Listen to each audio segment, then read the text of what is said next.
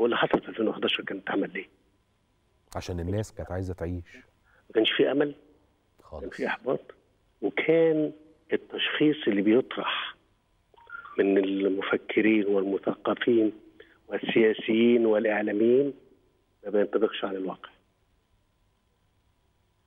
خولوا البلد خصم قاموا هدوها خسرنا 477 مليار دولار. البلد اللي مش هتاكل شايفين ده صح. طب لما أنتوا عملتوا كده إحنا كلنا المصريين عملنا كده. طب مش لما تكسروا تصلحوا؟ المفروض. تصلح. ترد نتصلح. نحاول. نصلحه. مش تق- تقول لي يلا صلح وريني وريني همتك. لا نصلح. شغلك. انت جماعة مش شايف شغلك ليه؟ التعليم بتاعك ماله كده؟ المستشفيات بتاعتك مالها خربانة؟ ليه مش الله الله الله الله. ده أنتوا اللي عملتوه. ده أنا بصلح اللي أنتوا عملتوه اللي كسرتوه أو اللي ما اللي كان فاضل وكسرتوه. عايز ارجعه تاني. انت هتقول لي إيه الألم ده؟ واللي بيفهم كتير يا يوسف بيتعذب واللي ما بيفهمش مرتاح. مم. اللي بيفهم كتير إيه يتعلم.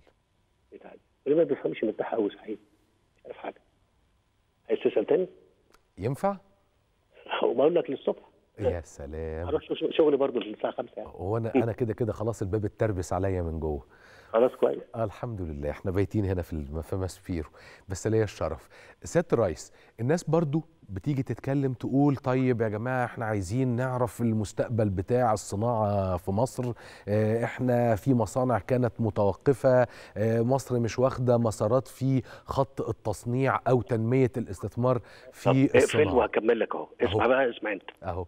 بص يا يوسف. اتفضل يا فندم. حصل للصناعة ثلاث هزات.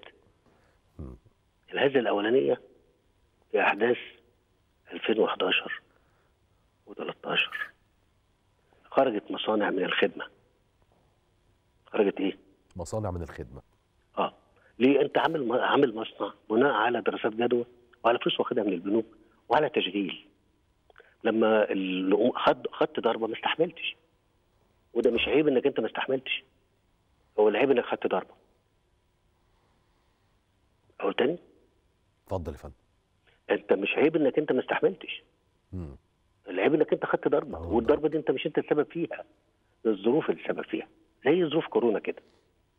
زي ظروف الحرب الروسية كده. صحيح. خدت بالك؟ دي واحد نمرة اتنين. دي اللي الضربة الأولانية. يبقى 11 وإيه؟ و13 11 و13 طيب في بعض المصانع كان دراسات الجدوى بتاعتها آه يعني مش دقيقة يعني. الناس حطت استثمارات ولكن الجدوى بتاعتها مش موجودة. فما كانش ممكن يكملوا. الناس. مم. الم- أنا بديك قضية الصناعة اللي هي آه اللي أنت بتتكلم عليها. أيوه. طيب. دي أول ضربة. الضربة الثانية في 2016 لما تحولت من 8 دولار 8 جنيه للدولار ل 16 عملت تحرير سعر الصرف. عثر عثر بعض المصانع ديت. تغير سعر الصرف.